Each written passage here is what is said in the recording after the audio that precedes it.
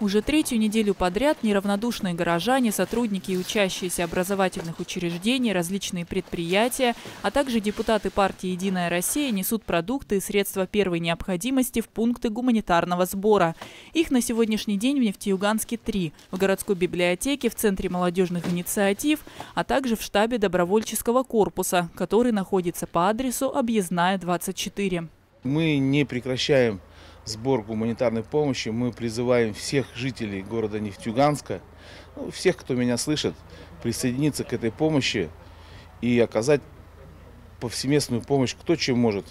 Помощь, к слову, нужна не только материальная. В пунктах сбора сейчас есть острая необходимость в так называемой помощи руками.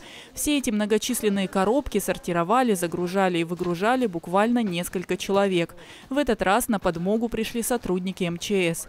Волонтеров разных возрастов ждут в детской библиотеке кабинет 112. Всю гуманитарную помощь принимают тоже здесь.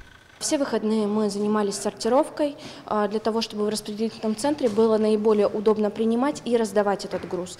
Потому что когда а, население несет сборное, то есть в одной коробке могут оказаться как детское питание, макароны, так и жидкости, мы, соответственно, формировали по группам товаров.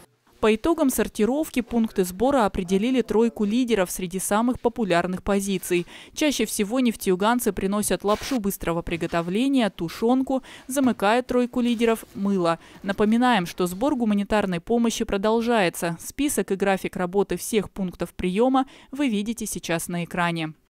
Дарья Лунькова, Дмитрий Смирнов, телерадиокомпания «Юганск».